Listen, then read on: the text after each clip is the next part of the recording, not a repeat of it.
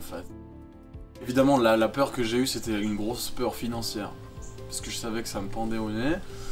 Euh, mais sinon, au niveau des, des peurs pour le voyage, concrètement, de pas voir mes amis et ma famille, ou, ou de pas être au même endroit, euh, ou pas être chez moi pendant deux ans, je me suis jamais vraiment posé la question avant le jour où je suis parti et puis j'ai toutes mes affaires qui sont dans ma moto et puis j'étais en fait, je reviens pas ici pendant deux ans.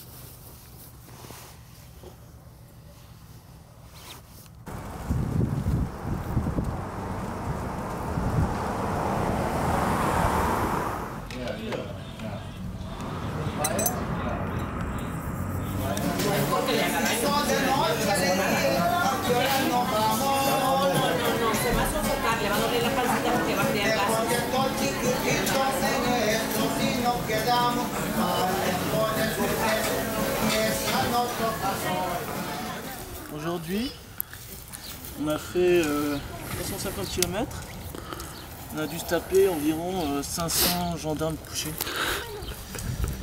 Et je dirais 4250 changements de vitesse. Et on peut changer les plaques, euh, plaquettes de frein demain. Merci Mexicain. Puis des fois comme ça, tout d'un coup, euh, au milieu d'une courbe, il y a un dos d'âne. Euh, super. Entre deux, il y a un chien qui te saute dessus.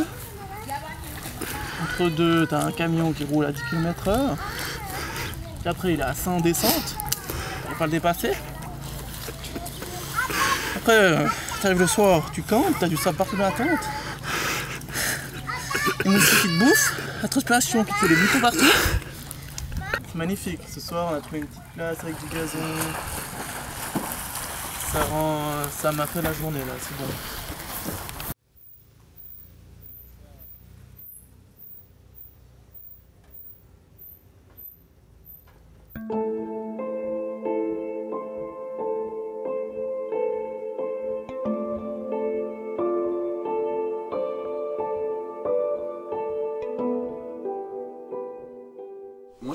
Volatile, euh, enfin je suis hyper rêveur, je suis daydreaming, surtout quand je roule, surtout quand je roule à moto en fait. Donc je pensais à un million de trucs futiles et profonds, mais je pensais souvent à ce que j'allais faire en rentrant quand même.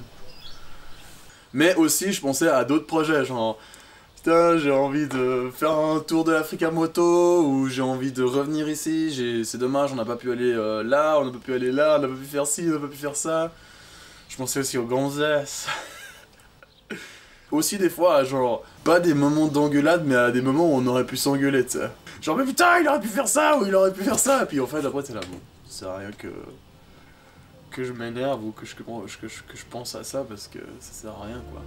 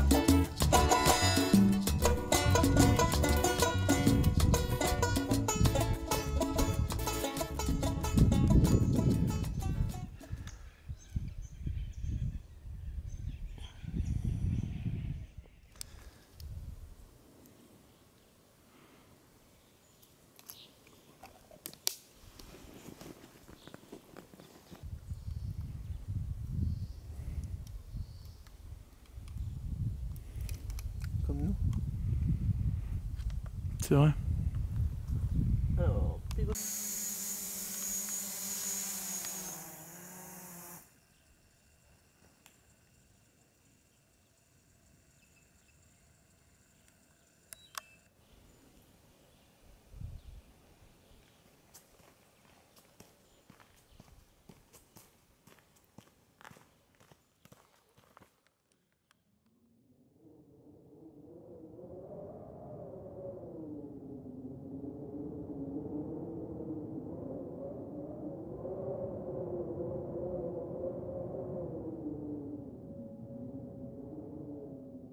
Nos deux jours de boucle au Pérou, c'était dans les Andes.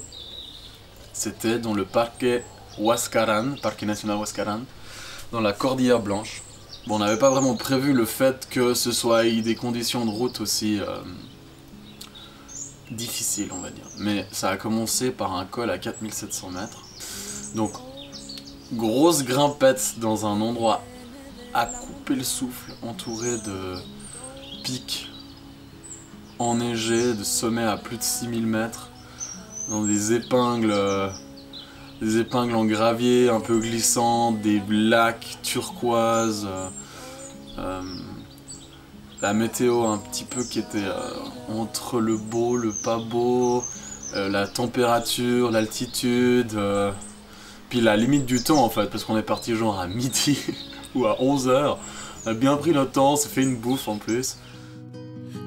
Viento que viene del mar, viento, tráenos la libertad.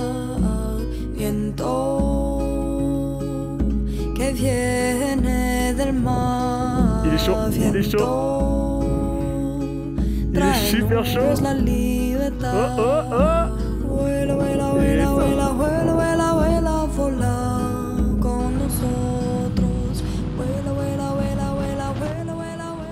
quoi 180 km Peut-être un peu plus. 180 km le premier jour. Puis on est arrivé. Les derniers 40 km c'était les plus difficiles. On voyait jamais ce village arriver. Mais j'avais l'impression qu'on n'allait jamais le faire. Pour finir, on était à peut-être 5 km de l'arrivée. Il fallait que je me mette dans un endroit où c'était extrêmement glissant parce qu'il avait plu toute la journée.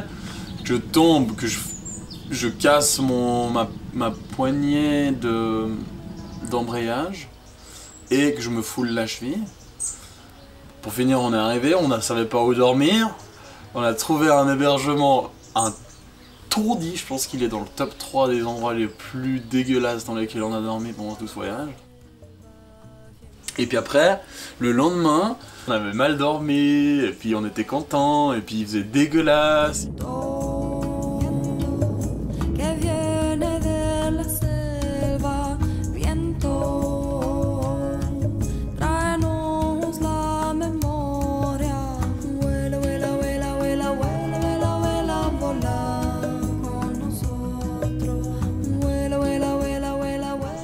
Monté de nouveau à 4700 mètres d'altitude avec chacun une cheville foulée, euh, avec de la neige, avec le mal d'al- de l'altitude, avec euh, plus de sensations dans les mains, dans les pieds.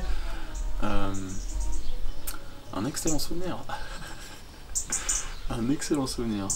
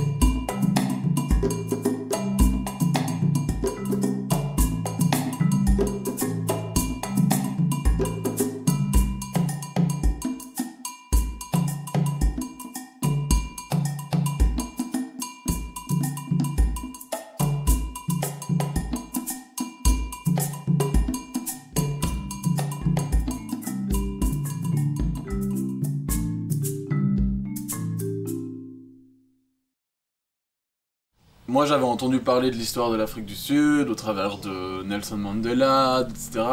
Mais je me rendais pas vraiment compte encore de, l'impact que ça avait eu dans les gens en général. Tu peux sentir qu'il y a une tension entre, euh, entre les différentes euh, ethnies. C'était bizarre. On avait un ressenti qu'on n'avait jamais vu avant. Évidemment, en, en Amérique du Sud, on était des gringos, mais, mais on parlait la langue, et, puis on se sentait déjà un peu plus à l'aise, parce que c'était pas la première fois qu'on y a été, tandis que là, on est vraiment été dans un endroit où on sait qu'il y a une différence entre les Africans, les Anglais, les Blancs, les Noirs. Ça nous impliquait directement dans la différence entre les gens et dans le racisme, quoi. Que parce que t'es blanc, bah forcément t'es raciste en Afrique du Sud. Mais c'est vrai qu'il y avait un peu... un peu une tension, ouais.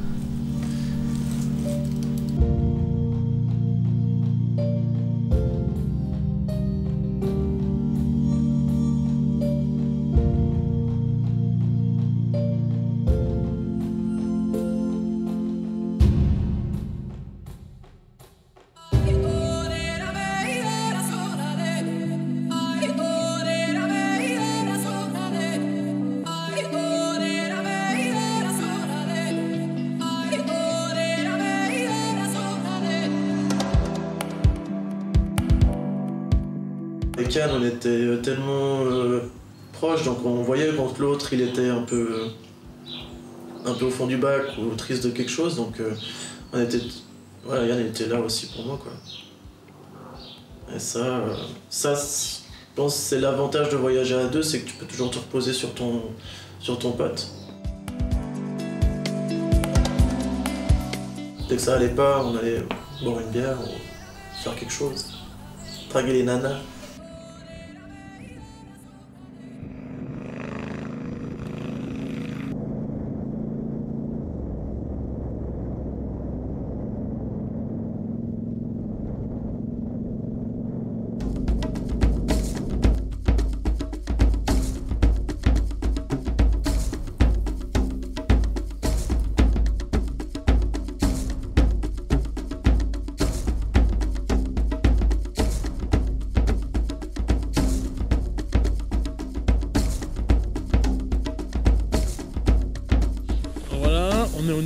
41 aujourd'hui. Et euh, c'était que de l'asphalte jusqu'ici, on peut voir là-bas. Et maintenant on se retrouve sur une euh, piste. Et c'est le moment de dégonfler les pneus.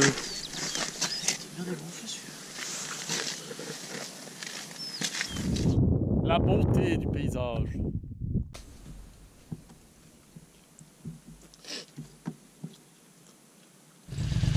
Et une journée de plus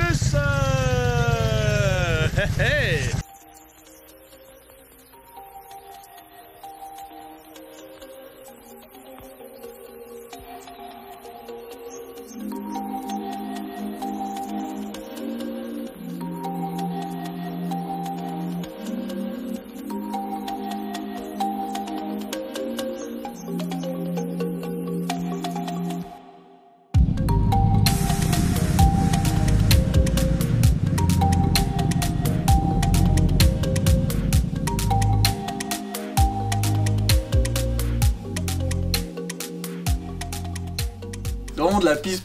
quoi. Tu peux, tu peux aller à 100 sur du gravier, tu te fais des frayeurs parce que des fois ben, ta roue avant elle part n'importe comment. mais, mais sinon c'était un maximum de fun le nombre de fois où on faisait des drifts.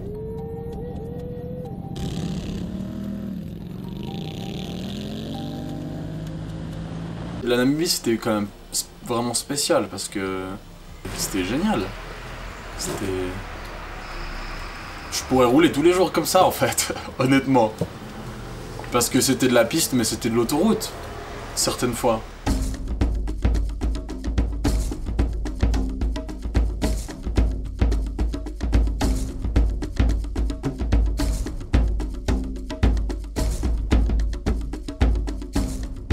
Le moment qui était flippant, c'était genre quand tu sais que la, la, la piste elle est un peu tassée par les, les roues des voitures, puis t'as la droite et puis la gauche.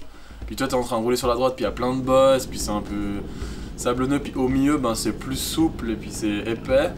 puis tu veux passer à 100 km/h du côté droite au côté gauche, puis tu dois passer par ce petit bout épais, ça fait genre Bon, j'y vais, j'y vais, j'y vais je suis passé Grosse prise de risque.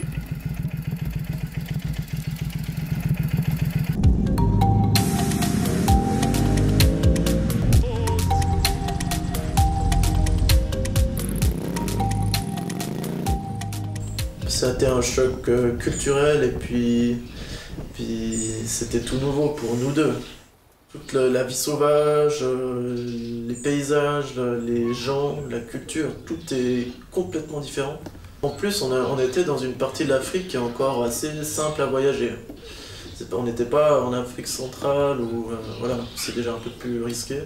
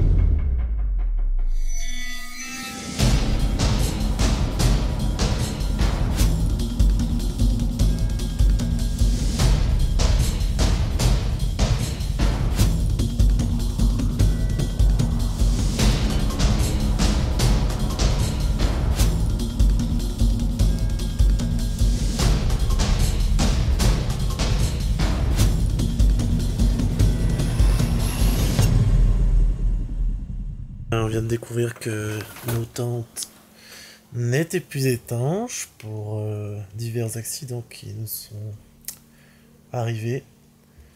Et là, on se chope un méga orage.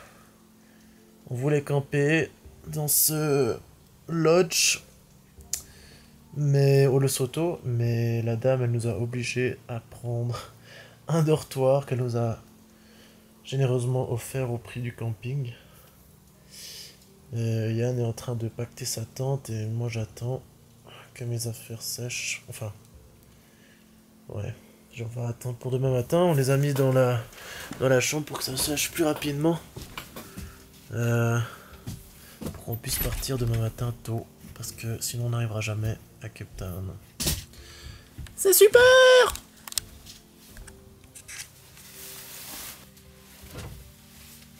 Ce genre de moments-là sont inévitables, mais la solution c'est de penser à la chance qu'on a. Et quand tu relativises, puis tu te dis putain, moi j'ai la chance d'avoir les finances, ou la santé, ou les possibilités de faire un tel voyage, ben tu relativises et puis tu te dis bon, je suis en fait je suis un vénard et puis je vais pas commencer à. Ouais, faut que je profite du moment présent et puis il faut que je profite d'avoir une telle liberté, et puis et puis voilà, puis ça passe.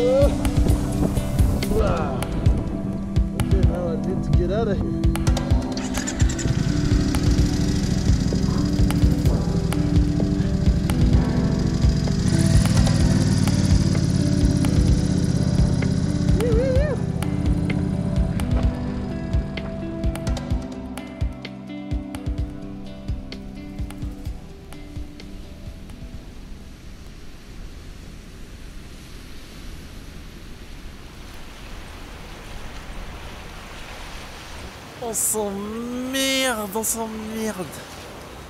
sans les bécanes. Mais bon, s'amuse quand même, de temps en temps. On avait conscience de rien au niveau des détails de quand est-ce que nos motos elles allaient partir, combien ça, nous, ça allait nous coûter, parce qu'on on n'avait pas conscience qu'il fallait payer des taxes en arrivant en Australie.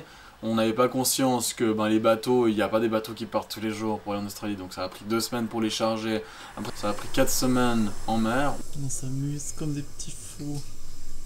Enfin, ça a pris beaucoup plus de temps que prévu, puis en fin de compte, si on mettait euh, côte à côte le prix entre les avoir mis dans l'avion ou les avoir mis dans le bateau pour faire l'Australie, l'Afrique à l'Australie, ben on serait peut-être arrivé au même résultat. quoi. Damn, BT.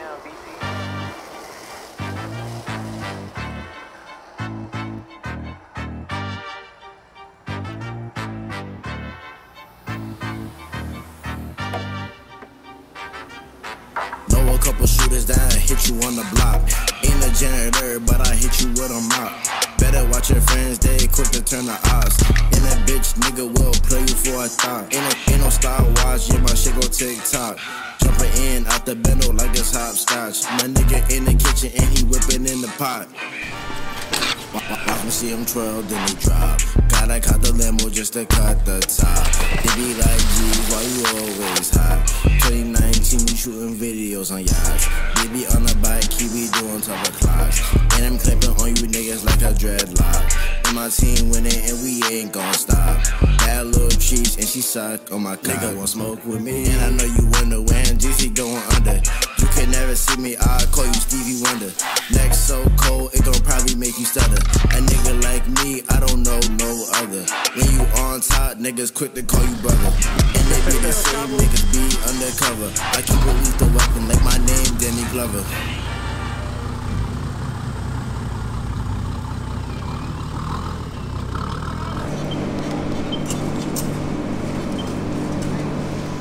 Alors on essaye euh, de revenir sur les, les traces.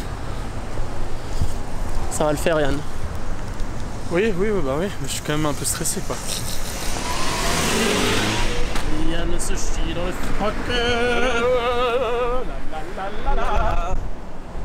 Avoir peur, se sentir stressé, être à l'aise. Et là j'ai le temps de regarder, ça me, ça, ça me, ça me fait, ça me serre les testicules quoi. J'avoue que j'ai peur pour lui, là. c'est sous le coup là. Allez mon petit Yann, j'espère qu'il est chaud. Chaud patate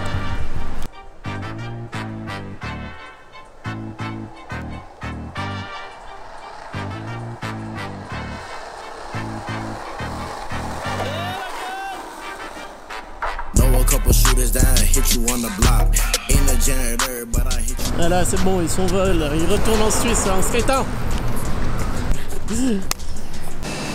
Ne saute pas mon petit, ne saute pas Je vais te sauver, ne déprime pas, la vie belle.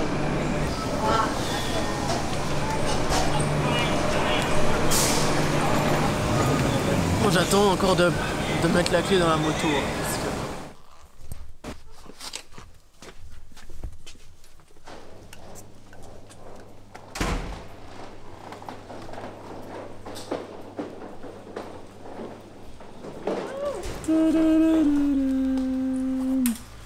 Toute bête, toute neuve.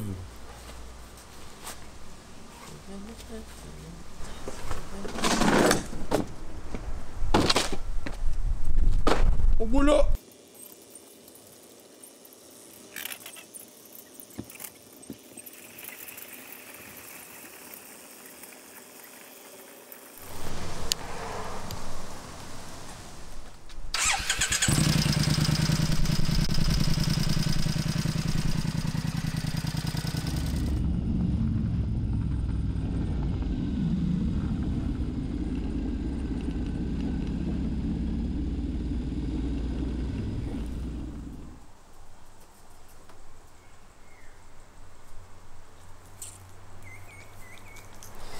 Bah non, on a rencontré euh, Josiane, Fiona Fiona, c'est ça. Et euh, parce que tous les, tous les campings étaient complets et vu qu'on est le 30, on s'est pas pris à l'avance. Euh, du coup, on était dans un shop et on a vu cette dame, on l'a rencontrée. Et on lui a demandé si elle avait un endroit pour camper. Puis elle a dit Ouais, bah voilà, venez chez moi.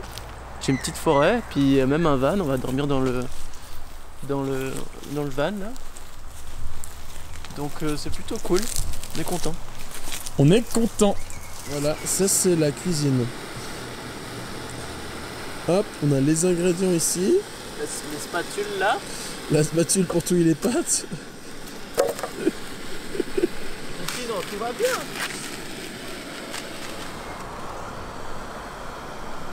C'est pas prêt. Ça fait maintenant 365 jours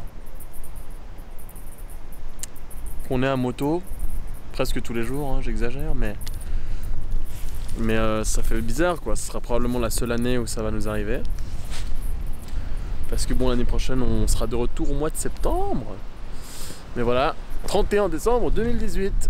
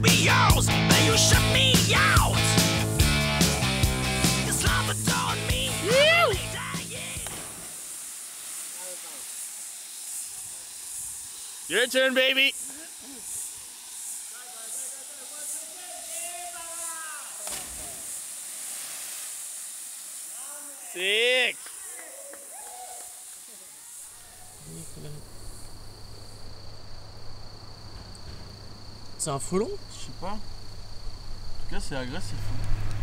On voit pas pas bien en vidéo, mais on peut imaginer On voit bien que c'est enflé ici, non? Juste là. Toi, t'as un peu une tête de gros comme ça. Ouais, bah ça, c'est sûr.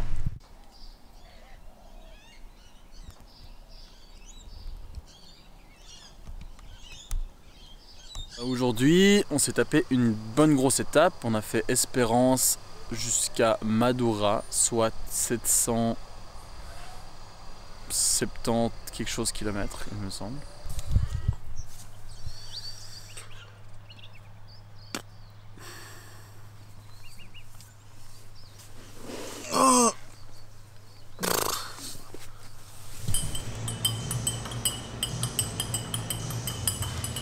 Les petits déjeuners de guerriers.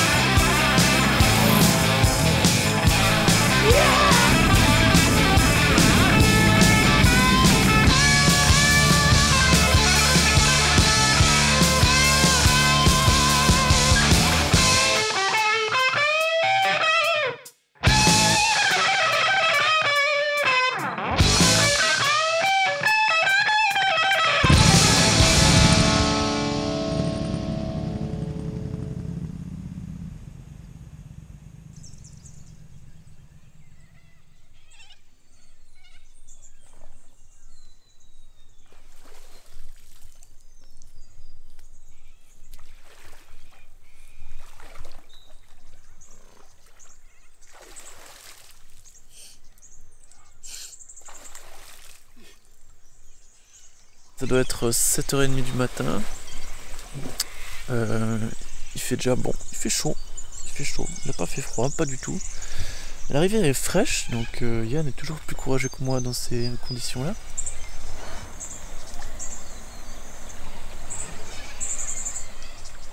Alors, euh, on va pacter nos affaires, ça nous prend généralement toujours une heure, une heure et quart pour tout pacter, euh, charger sur les motos, s'habiller, déjeuner, laver la vaisselle, partir. C'est pas mal. On est rodé.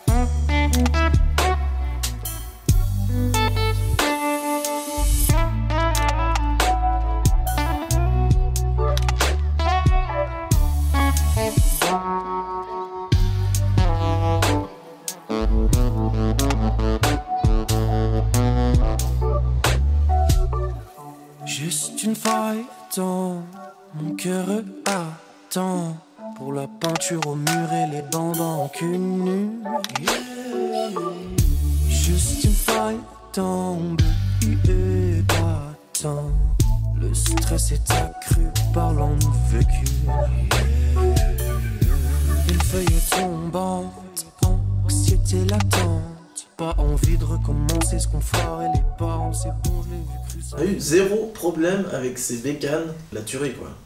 C'est vraiment les meilleures bécanes du monde. Je vais faire des rageux en disant ça.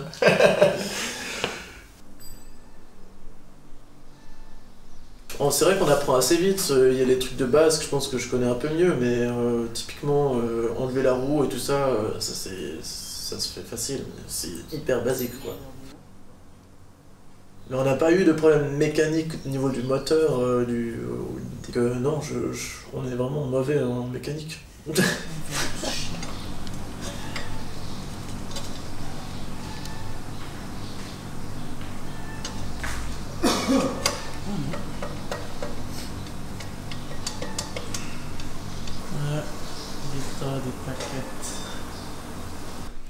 Et qu'on a juste envie de se casser de l'Indonésie parce que c'est l'enfer. C'est l'enfer. L'enfer. On est un peu dans une phase où l'Indonésie, ça nous a quand même fatigué quoi. Ça nous a fatigué parce que le, cl- le climat, parce que les gens, parce que, parce que les routes de merde, parce que le trafic.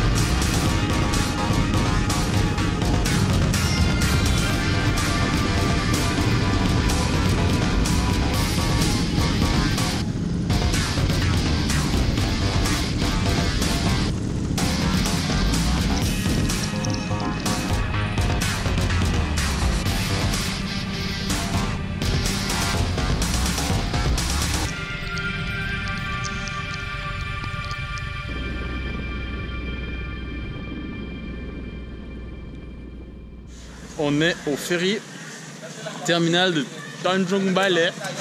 Puis on va mettre nos bécanes sur le toit du ferry. Enfin, on sait pas trop comment, mais euh, voilà, on est dans l'attente, comme d'hab. Pas du tout.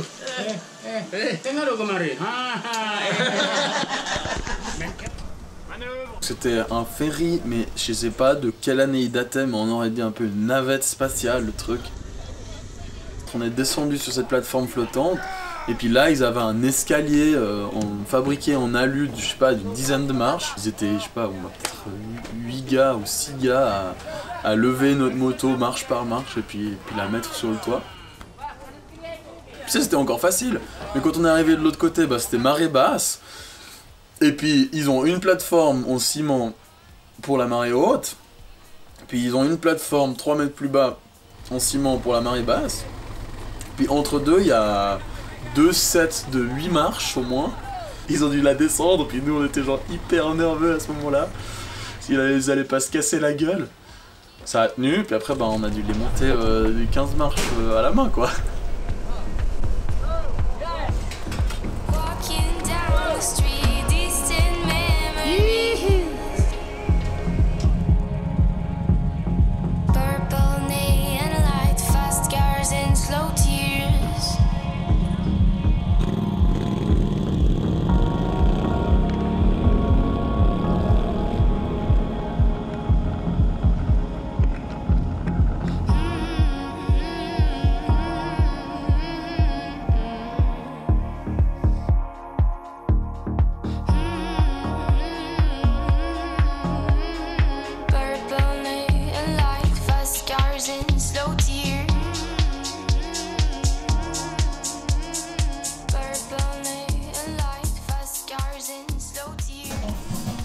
Work in progress, work in progress.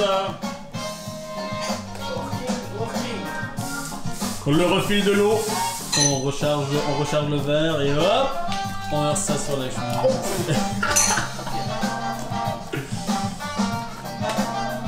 le talent. Alors là, c'est la nouvelle méthode.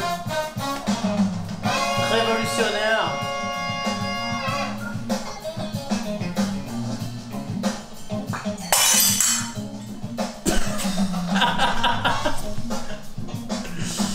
C'est un verre euh, cassé.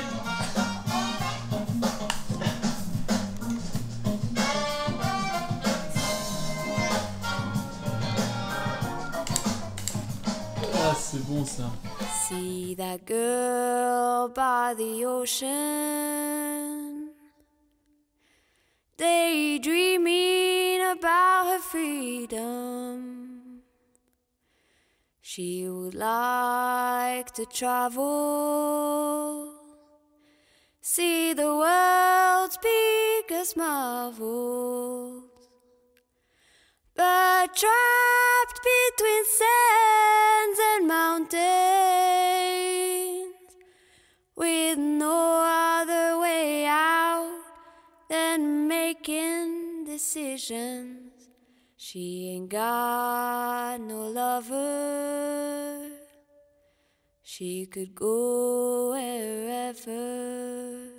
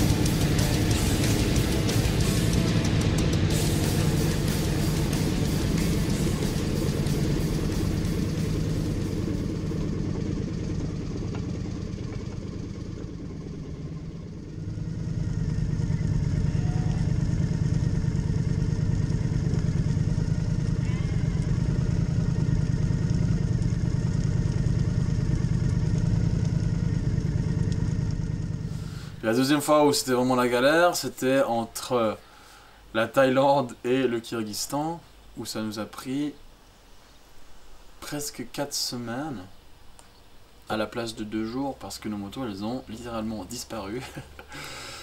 Euh, et puis que ça nous a coûté aussi un bras.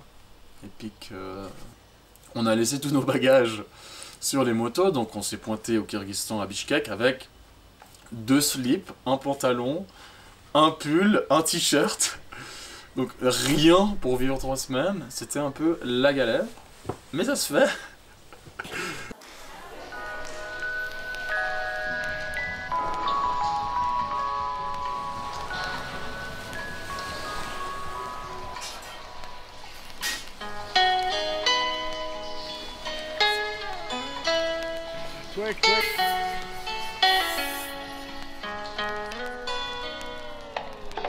Accepté nos motos, mais c'était dangerous goods. Et donc, du coup, il fallait payer 1000 francs de plus. Et nous, avec notre agent qui s'occupe du transport de nos motos, il nous avait fait payer un certain montant et nous a renseigné ou nous a donné l'information comme quoi on devait payer 1000 francs de plus par moto le jour avant de prendre l'avion pour Kyrgyzstan. Et on n'avait pas les moyens, donc on a dû s'énerver contre l'agent qui, on va quand même accepter ce fait-là, qui est très gentil de nous avoir payé ça quand même, malgré son inefficacité totale. Parce que ben il a fait ça, il nous a payé les 1000 francs de différence par moto, mais sauf qu'après il ne savait pas où nos motos elles étaient, quand est-ce qu'elles allaient prendre l'avion. Et pour nous c'était impossible, ou c'était difficile de trouver quelqu'un qui, qui connaissait les informations qui étaient justes quoi. Au bout d'un moment on a cru qu'elles allaient à Sarajevo. Euh, une fois on pensait que la tienne elle allait arriver un jour, la mienne elle arrivait un autre jour. Euh, puis ça a quand même pris trois semaines et demie avant qu'on ait euh, nos motos quoi. Après aussi, elles sont arrivées, elles étaient à moitié démontées, alors que c'était pas prévu.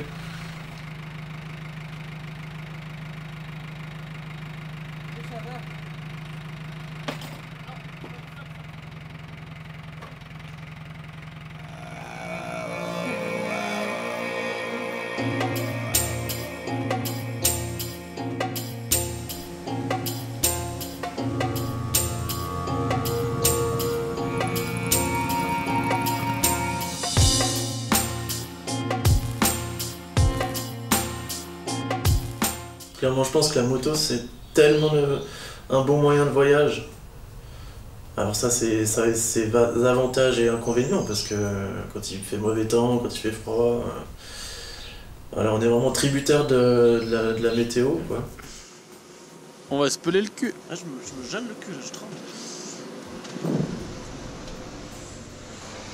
Sur les cheveux.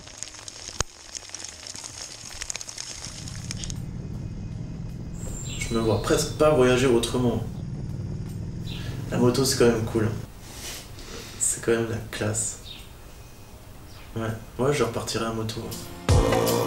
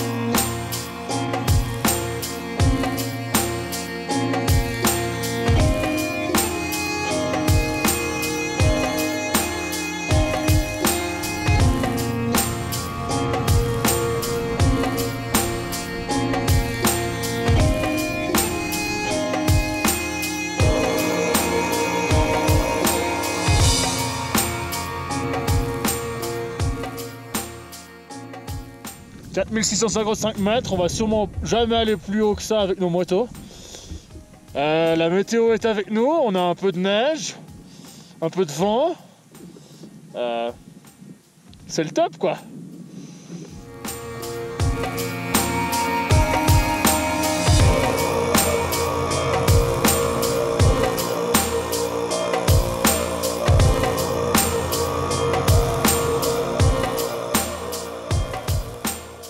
On va redescendre.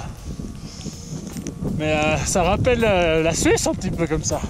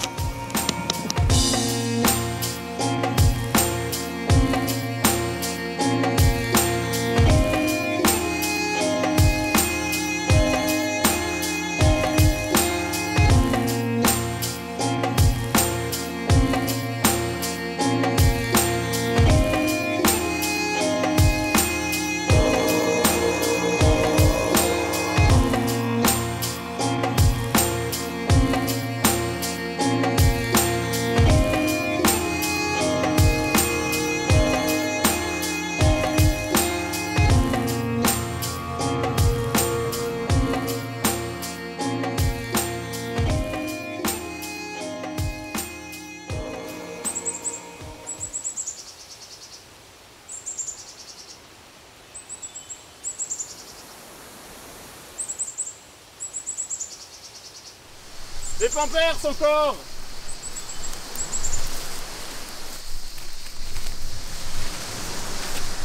C'est dégueulasse. Voilà.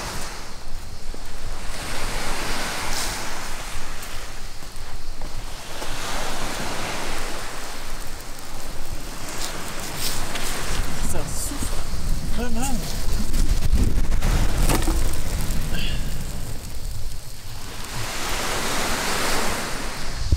Bon, je vous Je vais aider Yann un petit peu. S'il y a du boulot.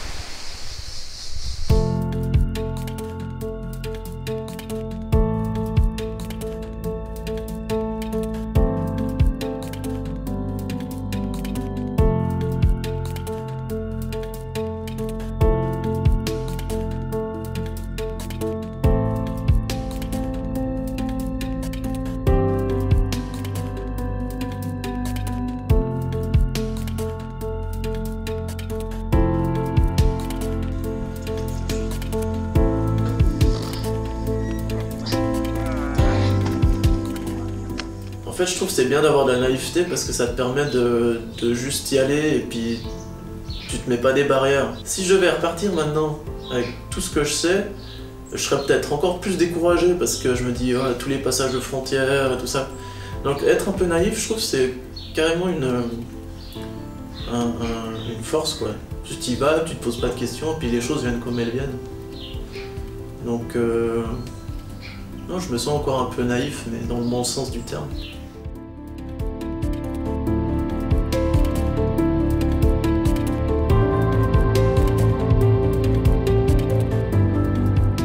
Si je rencontre quelqu'un qui me dit je suis en train d'hésiter à faire un super voyage, un long voyage à moto, moi je lui dis qu'il faudrait pas qu'il hésite, faudrait qu'il il fonce, qu'il qu'il y aille. Malgré peut-être euh, la pression sociale où il risque de pas avoir de travail et tout. Ok, on s'est aussi, aussi posé cette question là, on est aussi revenu, on a aussi eu des doutes, mais en fin de compte on l'a fait et puis quand, quand tu as réussi ou quand tu le fais ou quand tu l'as terminé, ben tu, tu vas juste regarder derrière et puis tu vas te dire putain c'est incroyable ce que j'ai fait. Tu vas jamais le regretter.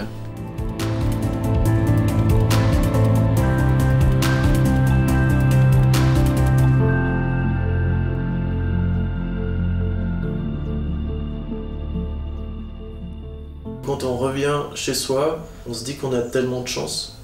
Quand on voyage, euh, on, on remarque qu'on vit dans, on a une qualité de vie en, Europe, en Suisse, qui est juste euh, incroyable. Alors oui, on, travaille beaucoup, euh, on a plein de choses à payer, mais on a la chance de pouvoir, ou le luxe de pouvoir décider, je sais pas. Ça m'a pas rendu plus heureux, mais tous les jours maintenant je me dis, oublie pas qu'on a de la chance.